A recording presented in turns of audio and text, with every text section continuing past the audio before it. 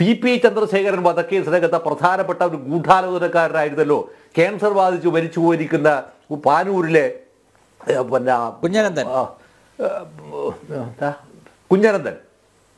ഈ കുഞ്ഞനന്ദൻ ഈ കുഞ്ഞ ഈ കുഞ്ഞനന്ദൻ ഈ കുഞ്ഞനന്ദൻ നിങ്ങൾ എങ്ങനെയാണ് കൊണ്ടുവന്നത്? എങ്ങനെയാണ് നിങ്ങൾ കൊണ്ടുവന്നത്? അത് മാത്രമല്ല അദ്ദേഹത്തിന്റെ ക്യാൻസർ എന്ന് പറയുന്ന സംഭവം മനുഷ്യന്റെ പിൻഭാഗത്ത് വന്നിരിക്കുന്ന ക്യാൻസറാണ്. ഒരു സെക്കൻഡ് ഒരു മിനിറ്റ് നേരം പോലും അദ്ദേഹത്തിന് വേദന കൊണ്ട് കിടക്കയിൽ കിടക്കാൻ കഴിയില്ല. അദ്ദേഹം അത് അദ്ദേഹം അനുഭവിക്കണമോ വേണ്ടയോ എന്നുള്ളത് വിധിവിശ്വാസത്തിന്റെ പ്രശ്നമല്ല. അങ്ങനെ ആ രീതിയിലല്ല ഞാൻ പറയുന്നത്. പക്ഷേ അത്രയേറെ പെയിൻ അയാൾ അനുഭവിച്ചിരുന്നു. അത് കൊണ്ടുവരുമ്പോൾ നിങ്ങൾക്ക് ഈ പറയുന്ന ഒരു വാദവും ഉണ്ടായിരുന്നില്ലല്ലോ. ഇത് രണ്ടാമത് ഞാൻ നിങ്ങളോട് മറ്റൊരു ഉദാഹരണം ചോദിക്കട്ടെ. വടകര പാർലമെന്റ് നിയോജക മണ്ഡലത്തിൽ നിന്ന് മത്സരിച്ച് എഴുപത്തയ്യായിരം വോട്ടിന് ജയിച്ചിരിക്കുന്ന ഒരാളുണ്ടായിരുന്നു സഖാ ഓ ഭരതാട്ടൻ ഭരതാട്ടൻ അസുഖമായിരുന്നു എന്ന് ആരാണ് കണ്ടെത്തിയത്? ആരാണ് കണ്ടത് പാർട്ടിയാണ് കണ്ടെത്തിയത് ഭരതാട്ടൻ അസുഖമായിരുന്നു എന്ന്. ഭരതനാട്ടൻ അസുഖമായിരുന്നു എന്ന് പാർട്ടി കണ്ടെത്തിയപ്പോഴാണ് ഭരതനാട്ടൻ പറഞ്ഞത് എനിക്കൊരു അസുഖമില്ല പാർട്ടി കണ്ടെത്തുന്നതല്ല എന്റെ അസുഖം എനിക്കൊരു അസുഖമില്ല എന്ന് പറഞ്ഞു. ഈ അസുഖമാണെന്ന് പാർട്ടി കണ്ടെത്തിയതിന് ശേഷമാണ് ഭരതനാട്ടനെ മാറ്റി നിർത്തിയിട്ട് പിന്നെ ഇവിടെ മുൻ മേയറായിരുന്ന കോഴിക്കോട്ടെ മുൻ മേയറായിരിക്കുന്ന വേറൊരു പിന്നെ ഒരു പിന്നെ വനിതാ സഖാവാണ് മത്സരിച്ച് ജയിക്കുന്നത്. ഒരു പാർട്ടിയല്ല രോഗത്തെ നിശ്ചയിക്കുന്നത്. പാർട്ടി ഇങ്ങനെ രോഗത്തെ നിശ്ചയിക്കുമ്പോൾ നിങ്ങൾ കാണേണ്ടുന്ന മറ്റൊരു വളരെ ഗൗരവതരമായ സംഭവമുണ്ട്. സ്റ്റാലിൻ എന്ത് അസുഖമായിട്ടാണ് സ്റ്റാലിൻ മരിച്ചത്? സ്റ്റാലിന്റെ മരണത്തെക്കുറിച്ച് അയക്കുന്ന കുറിപ്പുകളും സ്റ്റാലിന്റെ മരണത്തെക്കുറിച്ച് അയക്കുന്ന പുസ്തകങ്ങളും വായിച്ചാൽ നമുക്ക് മനസ്സിലാവും. ആ മനുഷ്യൻ അവസാനം മരിക്കുമ്പോൾ ഒരു ഒരു സെക്കൻഡ് ഒരു സെക്കൻഡ് ആ മനുഷ്യൻ അവസാനം മരിക്കുമ്പോൾ മലത്തിലും മൂത്രത്തിലും ആറാടിയിട്ടാണ് ഈ സ്റ്റാലിൻ മരിച്ചു വീഴുന്നത്. ജനറൽ ബെറിയ അന്നത്തെ ഏറ്റവും ക്രൂരനായ പോലീസ് ഏകാധിപതി സോമിച്ചൂണിയല്ലേ അദ്ദേഹമാണ് പറഞ്ഞത് വാതിൽ തുറക്കണ്ടെന്ന് പറഞ്ഞത്. മണിക്കൂർ മണിക്കൂറുകൾ കടന്നു മണിക്കൂറുകൾ കടന്നു. അവസാനം മരണം ഉറപ്പുവരുന്നു എന്ന എന്ന് തോന്നി തോന്നിയിരിക്കുന്ന ഘട്ടത്തിൽ മാത്രമാണ് ഈ വാതിൽ തുറക്കുന്നത് ബെറിയാണ് തുറക്കുന്നത്. തുറന്നിട്ട് അദ്ദേഹത്തെ ആശുപത്രി കൊണ്ടുപോകുമ്പോഴത്തേക്കും അദ്ദേഹം പിന്നെ അവിടെ ചെല്ലുമ്പോഴത്തേക്ക് അവിടെ ഉണ്ടാക്കുന്ന നേഴ്സിന് അദ്ദേഹം കൊടുക്കുന്നത് ഒരു ചെറിയ കുഞ്ഞിന്റെ ചിത്ര പിന്നെ ഒരു പാവാച്ചിയുടെ ചിത്രമുള്ള സാധനമാണ് കൊടുക്കുന്നത്. അത് മാത്രമേ അദ്ദേഹത്തിന് ഓർമ്മയുള്ളൂ. ആ മനുഷ്യൻ മരിച്ചു. മനുഷ്യന്മാരോട് മനുഷ്യന്മാർ ജീവിതത്തോട് കാണിക്കുന്ന പൊതുജനങ്ങളോട് കാണിക്കുന്ന സഹസഹാക്കളോട് കാണിക്കുന്ന ക്രൂരതക്ക് ചരിത്രത്തിന് കിട്ടിയിരിക്കുന്ന ഏറ്റവും വലിയ പ്രതികാരത്തിന്റെ ചിഹ്നവും കൂടിയാണ് മനോഹരമായ വിശദീകരണവും കൂടിയാണ് സ്റ്റാലിന്റെ മരണം. ഇത് ഞാൻ മറ്റൊരു അർത്ഥത്തിൽ പറഞ്ഞതാണ് ഞാൻ നിങ്ങളോട് ഇത്. അവിടെ നമ്മളൊരു കാര്യം പറയുമ്പോൾ വസ്തുതാവിരുദ്ധമായ കാര്യങ്ങൾ വിശദീകരിക്കുകയോ അല്ലെങ്കിൽ അതാണ് ശരിയെന്ന് ആളുകളെ ബോധ്യപ്പെടുത്താൻ ശ്രമിക്കുകയോ ചെയ്യുന്നത് ഒരു കമ്മ്യൂണിസ്റ്റ് പാർട്ടിയുടെ സംഘടനാ ചട്ടക്കൂടിനെ അതേപടി അംഗീകരിക്കുന്നതിന്റെ ദുരന്തമാണത്. കമ്മ്യൂണിസ്റ്റ് പാർട്ടിയുടെ സംഘടനാ ചട്ടക്കൂടിനകത്ത് ജനാധിപത്യത്തിന് ഒരു അംശം പോലും ഇല്ല എന്ന് എന്നേക്കാൾ ഒരു പക്ഷേ നന്നായിട്ട് നിങ്ങൾക്ക് കോടതിയിൽ വാദിക്കുമ്പോൾ നിങ്ങൾക്കും അല്ലെങ്കിൽ വായിക്കുന്ന പഠിക്കുന്ന ഒരാൾക്ക് നിങ്ങൾക്ക് മനസ്സിലാവില്ലേ? പിന്നെ എന്തിനാണ് നമ്മൾ ഈ പുതിയ തലമുറയോട് ഇത്തരത്തിലുള്ള മഹാവാദകളും നുണകളും പറയുന്നത്? ആർക്ക് ജയിക്കാനാണിത്? ഒറ്റ കാര്യം മാത്രമേ ഉള്ളൂ ഇതിനകത്ത്. ഈ പിണറായി വിജയൻ എന്ന് പറയുന്ന കേരളത്തിലെ ഏറ്റവും ഏകാധിപതിയായിരിക്കുന്ന ഒരു മുഖ്യമന്ത്രി കാണിച്ചത് അങ്ങേയറ്റം ജനാധിപത്യ വിരുദ്ധമാണെന്ന് മാത്രമല്ല. അത് പാർട്ടി വിരുദ്ധവും കൂടിയാണ്. പാർട്ടി സഖാക്കളോട് കാണിച്ചിരിക്കുന്ന ക്രൂരതയും കൂടിയാണ്. എന്നാണ് എനിക്ക് ഇപ്പൊ ഇതിനോട് പറയാനുള്ളത്? ബാക്കി വിജയ പറയാം. നമസ്കാരം ഞാൻ പ്രീതി കാർത്തിക. പിണറായി തീവണ്ടി തട്ടി മരിച്ചുപോയ ഒരു കരുണാകരൻ മാസ്റ്റർ ഉണ്ട്. അത് കേവലം തീവണ്ടി തട്ടി മരിച്ച മരണമല്ല. അതൊരു കൊലപാതകമായിരുന്നു. കാരണം ആ മരണത്തിൽ അവരുടെ ബന്ധുക്കളായിരിക്കുന്ന രണ്ട് മക്കൾ ഒരു വാർഷിക ദിനത്തിൽ ഒരു പരസ്യം കൊടുക്കുകയുണ്ടായി. എന്താണ്? മാതൃഭൂമി പത്രത്തിലാണ് ആ പരസ്യം കൊടുക്കുന്നത്. അതന്ന് കൊടുത്തത് വലിയ വിവാദങ്ങളും ഉണ്ടാക്കിയിരുന്നു. പരാതികളും പ്രശ്നങ്ങളും ഒന്നുമില്ലാത്ത ലോകത്തിലേക്ക് കടന്നു പോയിരിക്കുന്ന പ്രിയപ്പെട്ട മാമൻ എന്നായിരുന്നു ആ പരസ്യം. എന്താണ് അതിന്റെ അർത്ഥം? ആ മരണത്തിൽ അവർക്ക് സംശയമുണ്ട് എന്നാണ് അതിന്റെ അർത്ഥം. ഈ സംശയം ദൂലീകരിച്ചു പക്ഷെ ആര്? പാർട്ടിയാണ് അത് ദൂലീകരിച്ചത് അല്ലാതെ വേറെ ആരുമല്ല. പോലീസോ അവരുടെ വീട്ടുകാരോ ആരുമല്ല. പാർട്ടി. കൊല്ലും കൊലയും കുലാധികാരം പോലെ കൊണ്ടു നടക്കുന്ന ആളുകൾക്ക് ഇത്തരത്തിലുള്ള വികാരങ്ങൾ ഉണ്ടാകില്ല. നെല്ലും പണവും കുമിഞ്ഞവന കൊല്ലും കൊലയും കുലാധികാരം എന്ന് പറയുന്ന ഫ്യൂഡൽ മാടമ്പിത്തരത്തിന്റെ രാഷ്ട്രീയമാണ്. യഥാർത്ഥത്തിൽ നിർഭാഗ്യവശാൽ ഈ കോടിയേരിയുടെ മരണത്തിന് ശേഷവും ഈ പിണറായി എന്ന് പറയുന്ന ഏകഛത്രാധിപതി എന്ന് പറഞ്ഞിരിക്കുന്ന കേരളത്തിലെ മുഖ്യമന്ത്രിയും പോളിറ്റ് ബ്യൂറോ മെമ്പറും നടപ്പാക്കിയത്. ഈ ഗുരുതരമായ ആരോപണമാണ് ഞാൻ ഉന്നയിക്കുന്നത്. പക്ഷേ കമ്മ്യൂണിസ്റ്റ് പാർട്ടിയുമായി ഈ പ്രശ്നത്തിന് യാതൊരു ബന്ധവുമില്ല. കമ്മ്യൂണിസവുമായി ഇതിനെ കൂട്ടിക്കുഴച്ചാൽ കുഴക്കുന്നവർക്ക് നാണക്കേടാണ്. മറ്റൊരു ആത്മഹത്യയെക്കുറിച്ച് പറയട്ടെ. കൊളശ്ശേരിയിൽ ആത്മഹത്യ ചെയ്ത കരയത്ത് നാരായണൻ എന്ന് പറഞ്ഞ ഒരാളുണ്ട്. ആ നാരായണൻ ആത്മഹത്യ ചെയ്യുമ്പോഴും ഇതേ പിണറായി വിജയൻ അന്ന് നടത്തിയ ഒരു പ്രസംഗമുണ്ടായിരുന്നു. കരയത്തിന്റെ മരണവും പാർട്ടിയും തമ്മിൽ യാതൊരു ബന്ധവുമില്ല എന്നാണ് പിണറായി അന്ന് പറഞ്ഞത്. അതിലൊരു വിഷയമുണ്ട് ആലോചിക്കേണ്ട ഒരു വിഷയം. കമ്മ്യൂണിസ്റ്റ് പാർട്ടി ഓഫ് ഇന്ത്യ മാർക്സിസ്റ്റിന്റെ വർഗഘടന മാറിയിട്ട് ഏതാണ്ട് പത്ത് മുപ്പത് വർഷക്കാലമായി. വർഗഘടന അപ്പാടെ മാറിപ്പോയി.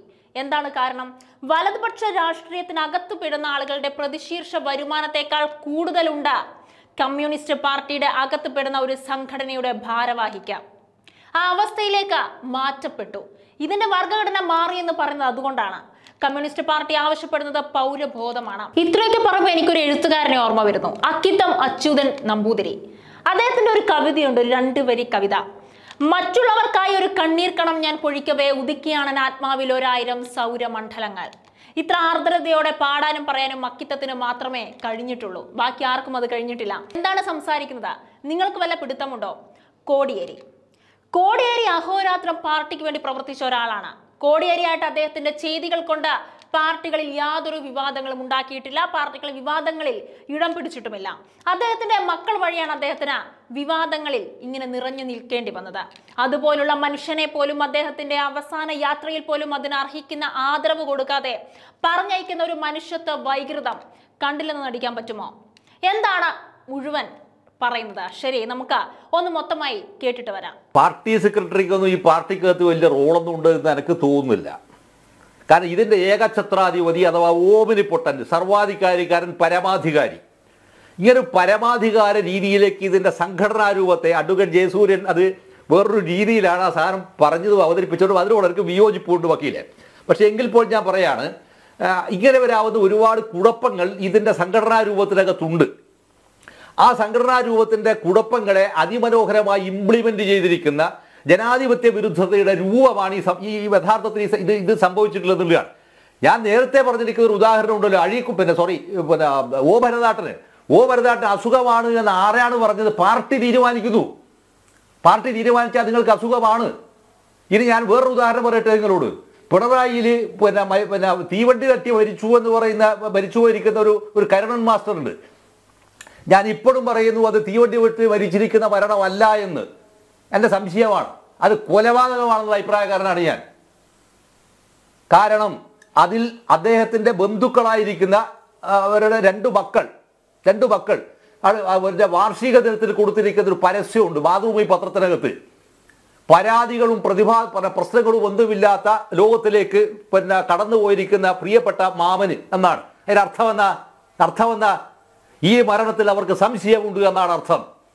ഈ സംശയം ഇന്നേ വരെ ദൂരീകരി ഈ സംശയം ദൂരീകരിക്കപ്പെട്ടു. ആര് ദൂരീകരിച്ചു? പാർട്ടി ദൂരീകരിച്ചു. എന്താ ദൂരീകരിച്ചത്? അത് തീവണ്ടി തട്ടിയിട്ടുള്ള മരണമാണ്. ഇങ്ങനെ നിങ്ങൾ തീരുമാനിക്കുന്നിടത്തേക്ക് മരണം സ്ഥിരീകരിക്കുന്നതല്ല മരണം എന്ന് പറയുന്നത് മരണം എന്നത് ജീവിതത്തിൽ മഹാസത്യമാണ്. ആരുടെ ജീവിതത്തിലായാലും അത് സംഭവിക്കുമ്പോൾ എന്ന് പറഞ്ഞാൽ അത് പലർക്കും അത് താങ്ങില്ല. കൊല്ലും കൊലയും. കുലാധികാരം പോലെ കൊണ്ടുകിടക്കുന്ന ആളുകൾക്ക് ഇത്തരത്തിലുള്ള വികാരങ്ങൾ ഉണ്ടാവില്ല. നെല്ലും പണവും കുമിഞ്ചവന് കൊല്ലും കൊലയും കുലാധികാരം എന്ന് പറയുന്ന ഫ്യൂഡൽമാണ് ഇത്തരത്തിന്റെ രാഷ്ട്രീയമാണ്. യഥാർത്ഥത്തിൽ നിർഭാഗ്യവശാൽ ഈ കോടിയേരിയുടെ മരണത്തിന് ശേഷവും ഈ പിണറായി വിജയൻ എന്ന് പറഞ്ഞ ഏകഛത്രാധിപതിയായിരിക്കുന്ന കേരളത്തിലെ മുഖ്യമന്ത്രിയും പോളിറ്റ് ബ്യൂറോ മെമ്പറും നടപ്പാക്കുന്ന ഗുരുതരമായ ആരോപണമാണ് ഞാൻ ഉന്നയിക്കുന്നത്. ഇതിനെ നമ്മൾ ഇവർ കമ്മ്യൂണിസ്റ്റ് പാർട്ടിയുടെ പേരിൽ ഇതിനെ വൗച്ചറൊന്നും പറയും ഇത് കമ്മ്യൂണിസ്റ്റ് പാർട്ടി ആരും ബന്ധവും ഇതിനില്ല. കുളശ്ശേരിയിൽ പിന്നെ ആത്മഹത്യ ചെയ്തിരിക്കുന്ന കരയത്തെ നാലാട്ടനുണ്ട്. ആ നാലാട്ടൻ ആത്മഹത്യ ചെയ്ത് കഴിഞ്ഞപ്പോഴും ഇതേ പിണറായി വിജയൻ അന്ന് നടത്തിയിരിക്കുന്ന പ്രസംഗം ഉണ്ട് അവിടെ. കാരണം ഞാൻ അതിന് തൊട്ടപ്പുറത്തുള്ള ചൂട് സെന്ററിൽ ക്ലാസ് വെക്കുന്ന മാഷും കൂടിയാണ് ഞാനത് അദ്ദേഹം അന്ന് പറഞ്ഞത് പിന്നെ കരയത്തിലെ മരണവും പാർട്ടിയും തമ്മിൽ ബന്ധമില്ല എന്നാണ്. തലശ്ശേരിയിൽ ചൂരൈ ചതുർമാസം തുടങ്ങിയിരിക്കുന്ന ക്രൈസ്റ്റ് കോളേജ്. ആ ക്രൈസ്റ്റ് കോളേജ് കരയത്തിൽ നാരായണൻ മെമ്മോറിയൽ ട്രസ്റ്റാണ് ഇന്നിപ്പോൾ ഏതാണ്ട് മൂന്ന് കോടി നാല് കോടി ഉറുപ്പിക അതിന് പിന്നെ ബാങ്ക് ഡെപ്പോസിറ്റ് വന്നിരിക്കുന്ന മഹാസ്ഥാപനമായിട്ട് അത് മാറി. അപ്പൊ ഇങ്ങനെയെല്ലാം വരുന്ന സംഭവത്തിന്റെ ചിത്രങ്ങൾ നമ്മുടെ മുമ്പിൽ നമ്മുടെ മുമ്പിൽ മിഴിച്ചു നിൽക്കവേ.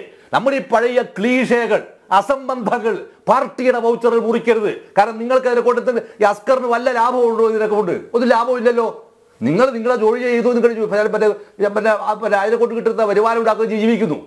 പക്ഷേ നിങ്ങൾ ആലോചിക്കേണ്ട ഒരു വിഷയം എന്ന് പറഞ്ഞാൽ കമ്മ്യൂണിസ്റ്റ് പാർട്ടി ഓഫ് ഇന്ത്യ മാർക്സിസ്റ്റിന്റെ വർഗഘടന മാറിയിട്ട് ഏതാണ്ട് പത്ത് പത്ത് മുപ്പത് പത്ത് നാൽപ്പത് വർഷക്കാലം ഇതിന്റെ വർഗഘടന മാറിയിരിക്കുന്നു. ഏറ്റവും വലതുപക്ഷ രാഷ്ട്രീയത്തിനകത്ത് പെടുന്ന ആളുകളുടെ പ്രതിശീർഷ വരുമാനത്തെക്കാൾ കൂടുതലുള്ള പ്രതിശീർഷ വരുമാനം കമ്മ്യൂണിസ്റ്റ് പാർട്ടി ഓഫ് ഇന്ത്യ മാർസത്തിനകത്തെ ഒരു നേതാവിന് അല്ലെങ്കിൽ ഒരു ഒരു ഒരു സംഘടനയുടെ ഭാരവാഹിക്ക് ലഭിക്കുന്ന അവസ്ഥയിലേക്ക് ഇത് മാറ്റപ്പെട്ടത് കൊണ്ടാണ് അതിന്റെ വർഗഘടന മാറി എന്ന് പറയുന്നത്. ഈ വർഗഘടന മാറ്റപ്പെടുമ്പോൾ എല്ലാം ആരാണ് എനിക്ക് മാത്രമാണ് എന്നുള്ള അഹങ്കാരവും അവകാശവും വരും കാരണം ജനം പുറത്താണ് അതിനകത്ത്. രാജാവിന് പ്രതിയേ ഉള്ളൂ പൗരനില്ല. പക്ഷേ കമ്മ്യൂണിസ്റ്റ് പാർട്ടി ആവശ്യപ്പെടുന്നത് പൗരബോധമാണ്. ഈ പൗരബോധം ഉണ്ടാവുന്ന സൊസൈറ്റിയെ നിർമ്മിക്കുന്നതിൽ കമ്മ്യൂണിസ്റ്റ് പാർട്ടിക്ക് നൽകാവുന്ന സംഭാവന എന്ത്? ആ സംഭാവനയാണ് ചോദ്യം. ഈ ചോദ്യത്തിനകത്താണ് ഞാൻ പിന്നെ പറയാം അക്കിത്ത അച്ചുവൻ നമ്പൂതിരിപ്പാടിന്റെ മനോഹരമായ ഒരു ഒരു ഒറ്റ ഒരു കവി രണ്ടുപേര് കവിതയുണ്ട്. മറ്റുള്ളവർക്കായി ഒരു കണ്ണീർ കണം ഞാൻ പൊഴിക്കവേ ഉദിക്കയാണെന്റെ ആത്മാവിൽ ഒരായിരം സൗരമണ്ഡലങ്ങൾ. ഈ അക്കിത്ത അച്ചുവൻ നമ്പൂതിരിപ്പാട് ആർ എസ് എസ്സുകാരാണെന്ന് തെറി വിളിച്ച് പ്രസംഗിച്ചവനായാൽ. അറിയാമോ നിങ്ങൾക്ക്? അറിയാമോ നിങ്ങൾക്ക്? പക്ഷെ അത് പാ- ഇത് പാടാൻ ഇത്ര ഇത്ര ആർദ്രതയോടെ പറയാനും പാടാനും അക്കിത്തത്തിന് മാത്രമേ കഴിഞ്ഞിട്ടുള്ളൂ. പിന്നെ പറഞ്ഞ ഒരാളാരാന്ന് പറഞ്ഞ സച്ചിദാനന്ദനാണ്. പക്ഷേ സച്ചിദാനന്ദൻ എടുത്തിരിക്കുന്ന പണി എന്താണെന്ന് നിങ്ങൾക്ക് അറിയാം എനിക്കും അറിയാം. പക്ഷേ ഞാൻ അങ്ങയുടെ അക്കിത്തത്തെ ഞാൻ കോട്ട് ചെയ്യാനുള്ള കാരണം എന്താ പറഞ്ഞാൽ മറ്റുള്ളവർക്കായി ഒരു ഒരു ഒരു തുള്ളി കണ്ണീർ പൊഴിക്കവേ ഉദിക്കയാണെന്ന ആത്മാവിൽ ഒരായിരം സൗരമണ്ഡലങ്ങൾ ഇത്ര മനോഹരമായ സ്വപ്നം കാണാൻ കഴിയുന്ന മനുഷ്യനായിരിക്കണം. സാധാരണ നിലയിൽ ഒരു ഒരു ഒരു ഹൃദയമുള്ള മനുഷ്യൻ. അല്ലാത്തവൻ മനുഷ്യനൊന്നുമല്ല ശരിക്കും. പിന്നെ നമ്മൾ നമ്മളത് ന്യായീകരിക്കുകയും ചെയ്തു സഖാവി. വളരെ സങ്കടമുണ്ട് ഇങ്ങനെ പറയേണ്ടി വന്നതിൽ ഇപ്പം എം ഗോവിന്ദൻ എന്ന് പറയുന്ന വളരെ പ്രസിദ്ധരായിരിക്കുന്ന പിന്നെ കേരളത്തിനകത്തെ ഒരു വലിയ ചിന്തകൻ പറഞ്ഞൊരു സംഭവമുണ്ട്. അറിവിന് അതിരുമുണ്ട് എതിരുമുണ്ട്. അറിവില്ലായ്മക്ക് ഇത് രണ്ടുമില്ല. അറിവിന് അതിരുമുണ്ട് എതിരുമുണ്ട്. അറിവില്ലായ്മക്ക് ഇത് രണ്ടുമില്ല. ഇത് പറയാവുന്ന ഒരു അവസ്ഥയിലേക്ക് നമ്മൾ മാറിപ്പോകുന്ന ഒരു അവസ്ഥ ഉണ്ടാക്കരുത് വളരെ സങ്കടകരമാണിതല്ലോ. ഇത് എത്ര ബോറാണ്. എന്തിനാണ് ഇങ്ങനെ ഒരു സാമാന്യ തെറ്റില്ലാത്ത കാര്യങ്ങൾ സംസാരിക്കുന്ന ഒരാളല്ലേ? നിങ്ങൾ ന്യായീകരിച്ചോ? ന്യായീകരിക്കുന്നതിന് പരാതിയൊന്നുമില്ല. ന്യായീകരിക്കാൻ you are about to do it പക്ഷേ ഇക്ക ആ സമയം അപ്പോഴും പോലും എന്താ പറഞ്ഞാൽ അത് വളരെ യുക്തിപത്രമാവണ്ടേ അങ്ങനെ ഇല്ലാതെ ഒരു കാര്യം ഞാനൊരു കാര്യം കൂടി പറയട്ടെ? ഈ കേരളത്തിനകത്ത് പിണറായി വിജയൻ പക്വതയുള്ള ഒരു ഭരണാധികാരിയാണെന്ന് ആരെങ്കിലും പറയുമോ? പക്വതയുള്ള ഒരു ഭരണാധികാരിയാണ് പിണറായി വിജയൻ എന്ന് ആരെങ്കിലും പറയുമോ? അങ്ങേയറ്റം അപക്വമായ തീരുമാനങ്ങൾ എടുക്കുന്ന ഒരാളാണ്. അതിന് ഉദാഹരണമാണ് മൂന്നാർ ഓപ്പറേഷൻ വന്നപ്പോൾ ആ ഓപ്പറേഷൻ കംപ്ലീറ്റ് പൊളിച്ച് കൈ കൊടുത്ത് അച്ചുവാദിനെ പൂട്ടിച്ച് കളഞ്ഞത് ആരായിരുന്നു? ഇയാളന്ന് പാർട്ടി സെക്രട്ടറിയാണ് അല്ലേ? ഓർമ്മയില്ലേ നിങ്ങൾക്ക്? എന്നിട്ടോ? ഇപ്പൊ എന്ത് ചെയ്യാന്ന് പറയാം. അതിനുശേഷം പിന്നീട് സമരങ്ങൾ മുഴുവൻ നടത്തിച്ചു. ഇങ്ങനെ ആളുകൾക്ക് കുരങ്ങ് കളിപ്പിക്കാവുന്നതല്ല പോഷക സംഘടനകൾ. ഈ എസ് എഫ് ഐ എന്ന് പറയുന്ന ആൾക്കാർ എസ് എഫ് ഐക്കകത്ത് പെട്ടിരിക്കുന്ന ആളാണല്ലോ ഞാനും. ഡിവൈഫൈക്കകത്തും ഈ ഞങ്ങളെ പോലെയുള്ള ആളുകളെ മുഴുവൻ പറയുന്നത് ഭൂതകാലത്തിന്റെ ഭാരം പേറാൻ വിധിക്കപ്പെട്ട ജന്മങ്ങളാക്കി മാറ്റുകയാണ് വാസ്തവത്തിൽ ഇവരെ പോലത്തെ ആളുകൾ ചെയ്തത് എന്ന് നിങ്ങൾ തിരിച്ചറിഞ്ഞിരിക്കണം. ഭൂതകാലത്തിന്റെ ഭാണ്ഡം പേർന്ന ആളുകൾ മാത്രമായി നമ്മൾ ചുരുക്കുകയാണ് ചെയ്ത് അതിന്റെ ഭർത്ത അതിന്റെ ഫലം എന്താണ്? നമുക്ക് വാസ്തവത്തിൽ ചിന്ത വിമർശിക്കാനുള്ള ബുദ്ധി നഷ്ടപ്പെടുത്തുക എതിർക്കാനുള്ള ബുദ്ധി നഷ്ടപ്പെടുത്തുക. ക്രിട്ടിസിസം എന്ന സംഭവത്തിന് ഒറ്റ അർത്ഥം മാത്രം സ്വാതന്ത്ര്യം എന്ന് പറഞ്ഞ അർത്ഥതയുള്ളൂ വിയോജിക്കാനുള്ള അധികാരമാണ് സ്വാതന്ത്ര്യം. ഈ വിയോജിക്കാനുള്ള അവകാശത്തെ പിന്നെ ലംഘിക്കുന്ന അതിനെ എതിർക്കുന്ന ആര് വന്ന ഓട്ടോക്രാറ്റാണ് അയാൾ? അല്ലെങ്കിൽ ഡെസ്പോട്ടിക്കാണ് ആ സംഭവം. നമ്മൾ എന്താ അങ്ങനെ ഒരു ഒരു ജനാധിപത്യപരമായി സംസാരിക്കുമ്പോൾ അസ്കറിന് അത് കൃത്യമായി അറിയുന്ന ഒരാളല്ലേ അസ്കറെ? എന്തിങ്ങളെ ഇങ്ങനെ ഇങ്ങനെ സംസാരിക്കുന്നത് ശരിക്കും? അല്ല ഒറ്റൊരു ഒറ്റ ഉദാഹരണം പറയാം. ഈ പിന്നെ നവമിയുടെ തലേ ദിവസമാണ് വാസ്തവത്തിൽ കോടിയേരി മരിക്കുന്നത് പിണറായി പോലത്തെ ഒരു സ്ഥലത്ത് പിന്നെ നവമിയുടെ ആഘോഷത്തിന്റെ തലേ ദിവസം എത്തപ്പെട്ടിരിക്കുന്ന ആളുകളുടെ എണ്ണം എത്രയാണെന്ന് ഹസ്കർ ആരോടെങ്കിലും ഇടയിലെ പാർട്ടിക്കാരോടൊന്ന് അന്വേഷിക്കുക. ഇത് അന്വേഷിക്കുമ്പോഴാണ് നമ്മൾ മനസ്സിലാക്കേണ്ടത് കോടിയേരിയുടെ മരണം പോലും വാസ്തവത്തിൽ ജനത്തിന് ഈ ആഘോഷത്തിന് മുന്നിൽ മറന്നു പോകാൻ മാത്രം ഉണ്ടായിരിക്കുന്ന ഒരു രാഷ്ട്രീയ പ്രശ്നം ഉണ്ടാക്കി തീർക്കാൻ പോലും പര്യാപ്തമായിരുന്നു. വാസ്തവത്തിൽ സി പി എമ്മിന്റെ രാഷ്ട്രീയ ഇടപെടലുകളെന്നാണ്. അദ്ദേഹത്തിന്റെ വിദേശയാത്ര പോലും തെളിയിച്ചിട്ടുള്ളത് എന്നതാണ് എനിക്കിപ്പോൾ ഇതിനോട് പറയാനുള്ളത് അസ്കറെ